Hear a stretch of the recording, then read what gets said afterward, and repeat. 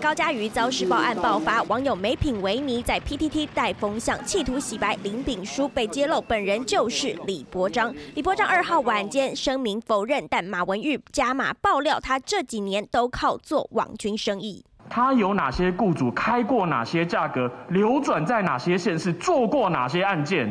但李伯章，你之前是收人钱财、政治网军，你这是收人钱财打女人呐！你这是收人钱财，是做打女人的事啊！你还有一点点的良心吗？马文玉点名做过的事该负责。李伯章操作网军争议再添一桩。去年十月十二号，PTT 一名 Air Jordan 的网友爆料，台南市议员谢财旺学甲分局官说交通罚单，还拍桌呛警，但警方公布画面根本没这回事。网友到案公称账号借给李伯章，但他一直没有到案。台南地检再发出传票，因为调查伊账号的使用者。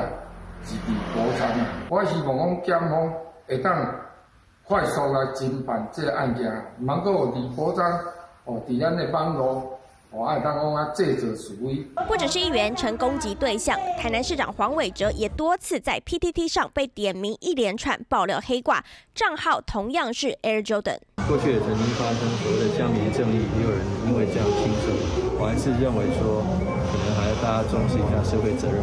李伯章身份曝光，马文玉直指收钱办事，擅长在 PTT 操作带风向，制造政坛纷扰，是不是不实指控？就等李伯章向大众说明真相。三立新闻李政道、魏文轩台南报道。